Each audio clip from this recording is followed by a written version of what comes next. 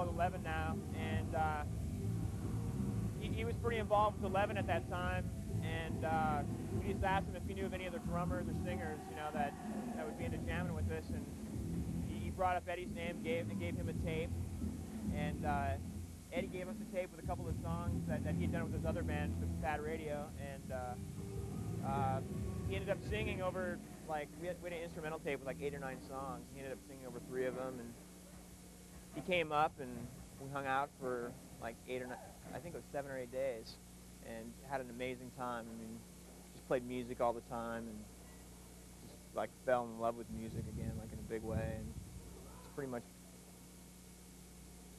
Is part of the reason why you decided to disband Mother Love Bone and start a new band so that you wouldn't feel like you were replacing Andrew? Yeah. I mean, and I think I think we really wanted to find somebody that was completely different, you know, than Andy too. And I think, I mean, You definitely did. Eddie was perfect. I mean, you know, we were blown away by how.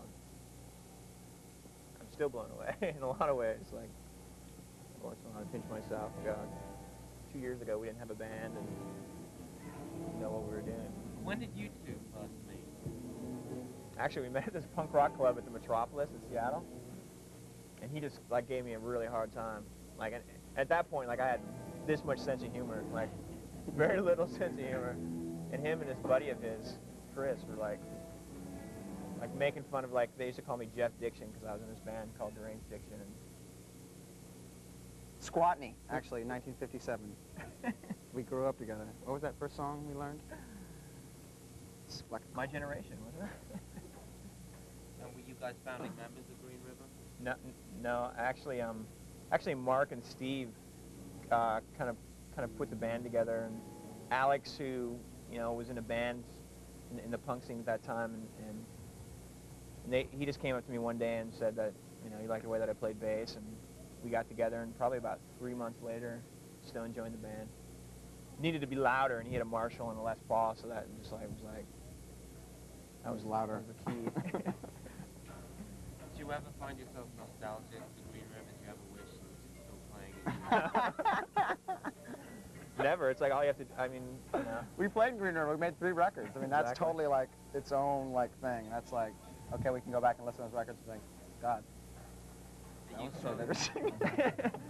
and, and, and, and the, you know, I think I think Mudhoney does what we did. It's like so much better. You know, I think they're. I think I think we were definitely going in a completely different direction, and and, and Mark's doing something that he's totally comfortable doing right now. And he's on a major label now, and so. he sold out. Kids, remember that. Mark Arm sold out.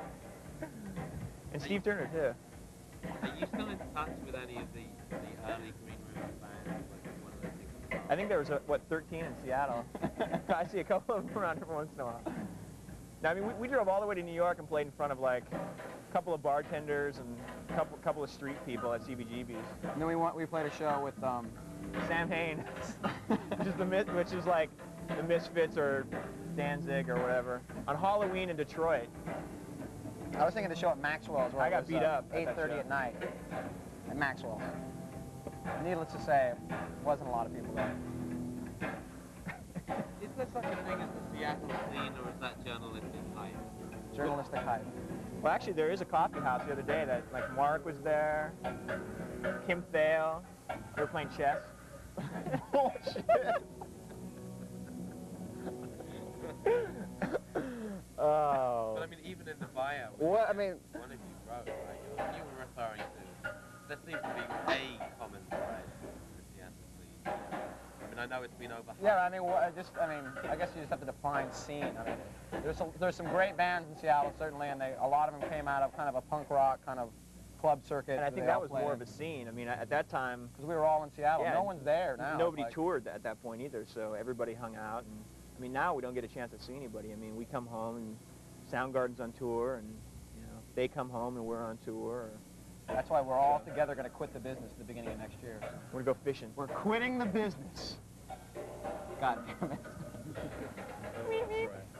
Uh, tell us a bit about Temple of the Dog and how this project well, we Pearl Jam and Soundgarden broke up and formed this band. when Soundgarden got off tour, actually, um, the last time when they went out for Louder Than Love, they got off tour, and it was right after Andy had died, and um, and Chris had written a couple songs about Andy, and played them for me and Jeff, and said, you know, you guys want to, you know, help, get together and record these songs, and it'd be great. And the songs were actually Amazing. were "Say Hello to Heaven" and "Reach Down." And it was like the, even the demo versions that he did at his house were like totally Sickening. so we decided that we were going to record those two songs, and um, and Mike was a guitar, our, our guitar player, Mike McCready. Um, uh, was start. We were already playing together as far as like starting Pearl Jam, and um, we said, well, maybe Mike could play on it, and, and Matt Cameron, and then we just started rehearsing for these two songs, and I had a couple more songs, and Chris ended up writing like you know four more songs on top of that, and um, and we just rehearsed for two weeks, and we said, well, Soundgarden said, well, we'll pay for it, and then some label will buy it. We thought it was going to be Polygram at the time, but it turns out A&M actually ended up putting it out, and uh, we made the record for, I mean, Nothing. uh, 120th of what we normally make, you know, or what, you know, the average major label, you know, record is made for, and we made it in about, you know, uh, probably a total of about two and a half weeks. So I think uh, in that sense, I think we're more proud of it than anything, because it was like no pressure, and we just went in and we just did it, and we didn't like think about it too much, and we left a lot of stuff really just kind of the way it was, and it's pretty jammy, and and it's a record that, it's just a great record, I think. Probably a record that we had as little to, do- to do with as any record that we played on. I mean, a lot, a lot of it's certainly Chris. Definitely. Okay, let's go into more recent history. You guys were on a European tour and and sort of brought full point. We've been on the we've been on the road for over ten months, and I think I think there just came a point like about halfway through that tour that it was just starting to get pretty intense. I mean, just just being away from home and being on the road all the time and being lonely or being depressed or or whatever, and and a lot of times you can take it out on one another or whatever, and it just I mean, we said a long time ago if anybody got too sick of, of, of touring, like in the long run, that, you know, a few shows or whatever, or, you know, calling the end of touring, you know, like if, if you decided, I mean, like I said, if, if, if we weren't doing Lollapalooza, we probably wouldn't be touring anymore. We'd probably take a break and we'd go back and make another record. But, um, It's one of those things. If it's not, if it, um, oh yeah, tell us more about uh, Jim Rose Circus Sideshow some of the other like more exotic attractions, uh, Alas Fairgrounds and yours. I, I haven't seen them in like a year, but, and, and I heard that there's a, there's a lot more to it than, than there used you've got a to whole crew definitely that be hangs. of freaks. If, if People that hang heavy things through from different parts of their Can bodies. you say penis on TV? You I think say you that, can. right? Yeah, there's not one of the seven dirty actually- words. Loud and proud. You can say penis. They hang Yes! big, heavy balls from their penises. See, that's one of my constitutional rights that I really, really enjoy. But No, uh, penis is such a more dirty word than any of the seven dirty words. But they actually will. Ha- he can actually can pick up a cinder block Oh, with his penis because he has a pierced penis, which to me is sort of a strange thing. I don't really find myself like wanting to go out and pierce my penis, but I certainly respect him for. and it sends like a Having a- really weird shockwave through your body when he does it too. You're kind of like, When he like- does it like- your it's like- Can you say penis? You respect his constitutional right. Oh, Yeah, absolutely. Madness in the- I, I, I really don't I don't understand the whole body piercing thing very much, like the whole thrill of it or whatever. I, I'm kind of ignorant to that fully, but I think there's so many people out there that are really into it that you should try it, Stones, actually. I'm gonna pierce my anus. oh, you can use that word too. Um, Hello, viewers. Hello.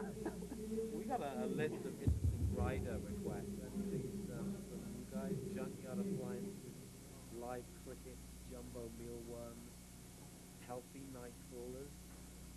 Well, the one guy, the like the new guy, he eats. Supposedly he eats like maggots and night crawlers and the whole thing. Like just, I'm kind of interested to see that. I wonder. I Even wonder the if he straight stuff, like the straight I wonder jacket, if he straight, tosses pops it his and- arms out. tosses it in like a, a Roquefort. Hollandaise, I think, actually. Okay. Um, I think that's about it. Beautiful. Uh, you can just get me to do some IDs. I can pay this. So, we're going to do it. Uh, give him a little lift. And right.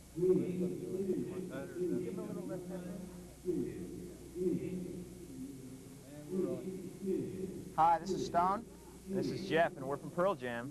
uh, and you're watching 120 Minutes. Do you know you can say penis on TV? time just like that, let's say 120 days to date. Okay. I'm so psyched about that. Like third grade, relive. Saturday Night Live, like. Oh, I The love week- that. The week after they said you could say it on TV, but like Just over and- They're like, you think it guys are starting, hey, man, Nice penis. Nice penis. Thank you. Hi, this is Jeff, and uh, Stone, I, I actually wanted to ask you a question. Like, what what is your infatuation with penis? God, I don't know. It's it's like kind of I don't know. Like ever since like third, second, third grade, every like dirty Malleable, body part. I, hello. Anyway, we're from Pearl Jam, and we're with Dave Wendell, Kendall. Kendall Johns. You're with- Kendall Scott. All right, one more time. this is Jeff, and, uh, This is Stone, and we're from Pearl Jam, and we're with Dave Kendall. and you're watching 120 minutes. Do a regular, you watch it. Okay. Hi, this is Stone. And this is Jeff, and I, I have a question for you, Stone. Um, I, I was wondering, what is your infatuation with, with, with the, the penis? Um, well, I don't think it's just penis. I think it's any uh, human body part that's generally covered. Uh, vagina, anus, any All covered parts. Anyway, you're watching MTV, and we thought we'd just fill you in on, on that. Hello. And you can do one thing that I think you can say, here's my friend. okay. Or you're watching MTV, here's my friend. Stay Stone and Jeff again. Hi, this is. Sorry. Hi, this is Stone, And this is Jeff. and uh, we're in Pearl Jam, and you're watching um actually censored the version. censored version of our our new video. Jeremy. They made it made us cut a bunch of stuff out of it. Buy the one in the store. It's better. You know what, this might be used for MTV Europe too. You can do one more now. Okay. I don't know if they, they might not. All right. Hi, this is Stone, And I'm Jeff, and we're from Pearl Jam. and uh, you're watching uh, MTV, and this is our new video. It's um Jeremy. It's just Jeremy, not I'm Jeremy. It's um Jeremy. Okay. You wanna do your stuff? Okay. We're at Lollapalooza 92, and you're